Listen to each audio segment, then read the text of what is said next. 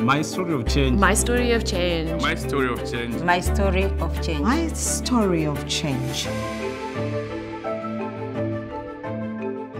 Research, by its nature, reveals uh, new insights, new knowledge, which can be used for improvement within uh, the tax administration itself, but also can inform policies.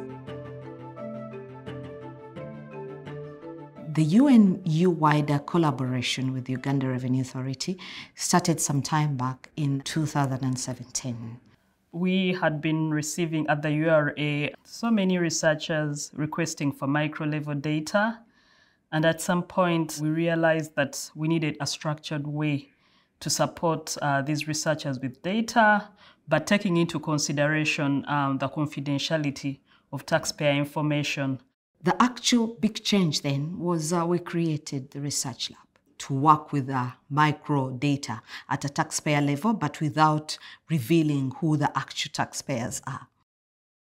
At this conference, many of the papers that have been presented are a product of the research that uh, people have carried out using the tax administrative data. And we have seen administrative and policy reforms being informed as a result.